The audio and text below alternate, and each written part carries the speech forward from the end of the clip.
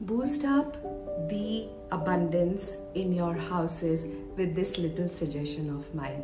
Every Sunday, placing a fistful, mutti bhar ke atta, a fistful of wheat flour outside your main doors of your workplace or your residences will raise up and boost up the money energy or the blocked energy which is bothering you in your businesses and your personal work.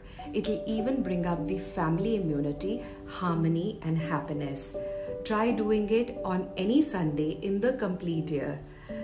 You can do it as a ritual on Sunday and remove it on Monday morning and throw away the atta or the flour in the dustbin. Again, do the same ritual on the next Sunday. Keep doing it till you find the prosperity in your house. Show your love by liking and commenting. Buddha bless. Lots of love.